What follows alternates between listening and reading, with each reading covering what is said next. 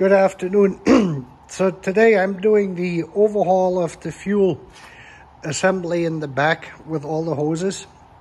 And um, no surprises here. I'm going to start here on the left. This is the fuel supply. And as you can see, I can see it too well.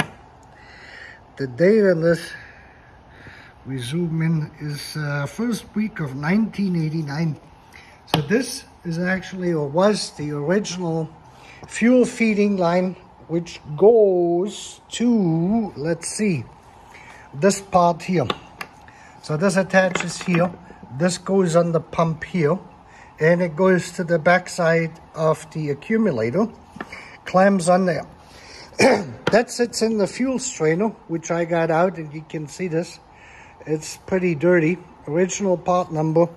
You can see and how the gasket is squeezed down. So you can make the assumption that this part has been in there probably since day one.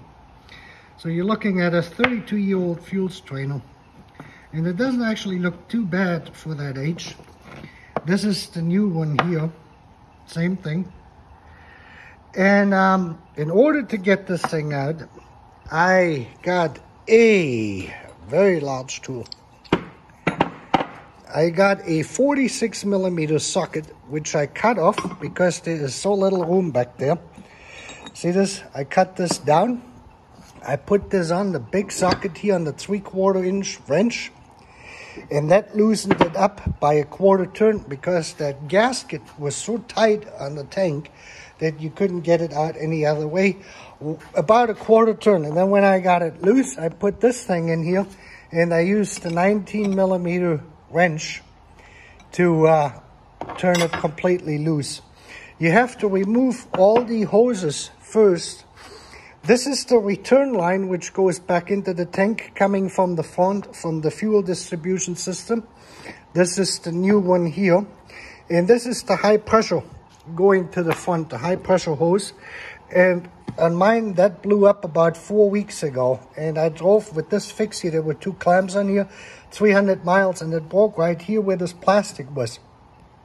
So I just put this coupling in here and fixed it until, because I was waiting for parts. And I got this part here, which you can see came in from Mercedes-Benz, brand spanking new. This was made on, let's see if I can read it, uh, January 29th, 21, just a few months ago. This is this part here, which goes from here to here. Um, then we have this hose here is, where did I put it? Oh, that's still in the bag over here. That is this one here. this is the small one from the tank to the rear side of the uh, fuel accumulator. The fuel accumulator is new. I bought that in January, so is the fuel filter. But I got a new fuel filter just in case because I did not know whether or not the fuel strainer was still good. These are the two new Bosch Mercedes-Benz pumps. Plenty of uh, Mercedes-Benz clamps. I got all of the stuff again from Mercedes-Benz. I bought extra O-rings because one day you won't be able to get them and I got an extra fuel strainer. Make sure that you fit your new fuel strainer that this matches with this hose end because there's two different sizes available and I think the older, the first generation 126 used a smaller one and that this hole would be smaller. Now what I'm going to do is I'm going to take the pumps out and the parts we were waiting for came in from Germany and they don't have any more of those here. These are these plastic holders which go around the pumps to seat them properly in this here. And you can see how bad they are here. So they're going to be replaced. And what happened was uh, we had to order them. They had to come in from Germany. And the date they were made was on June 21st, 2004. and if I understood them correctly, uh, those were the last three they had in Stuttgart. That was it. I don't know if they're going to make any more of them. I got an extra one now. Bosch or Mercedes-Benz does not sell this with the pumps when you order the replacement pumps. They do not come with these plastic holders. That's why we had them. So they sent us first the wrong ones, I think for W201. So we sent them back and then they finally got here. That's why that took four weeks for me to get to this here to repair this. Otherwise I would have done this earlier. And now let me see if I can get underneath here and show you this, uh, what this actually looks like. So just to get an orientation, this is your rear drive shaft, passenger side, and here is the big hole for the fuel strainer, and here is the one for the fuel return line. Both lines are here to the side. You can see this high pressure side here, and the low pressure side is this here, where the hose just goes over it.